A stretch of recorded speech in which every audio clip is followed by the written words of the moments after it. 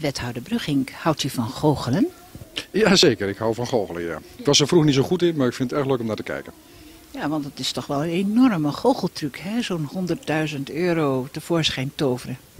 Nou, of dat een goocheltruc is, dat laat ik aan anderen over. Nee, het is geen goocheltruc uh, geweest. Uh, wij denken dat het heel verantwoord is om dat uh, te doen. We staan voor een grote opgave in onze binnenstad.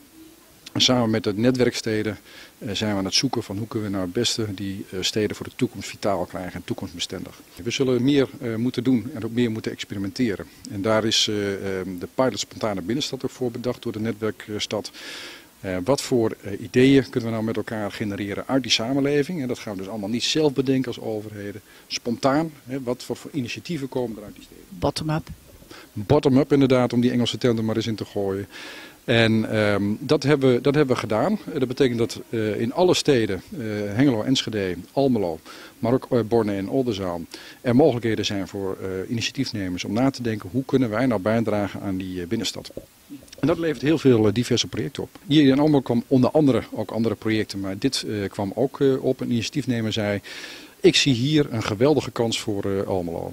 En uh, in dat verhaal, uh, daar hebben wij, dat hebben wij aangehoord, dat hebben we doordacht. Uh, en hebben gezegd van daar geloven wij in. Dat zou inderdaad iets heel moois kunnen zijn voor Almelo. Ja, want, want kijk, als ik zo als gewone Almeloer, die, die ook graag naar de havendagen ging.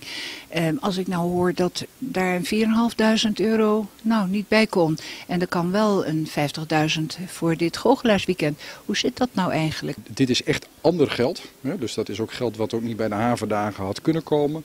Dit geld is bestemd voor, voor nieuwe evenementen, voor unieke evenementen.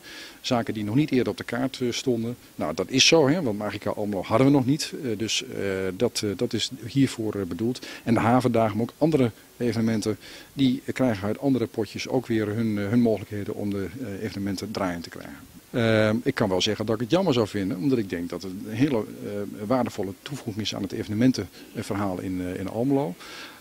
Maar wij gaan er niet over. Het zijn de initiatiefnemers die daar de verantwoordelijkheid voor nemen. Ja.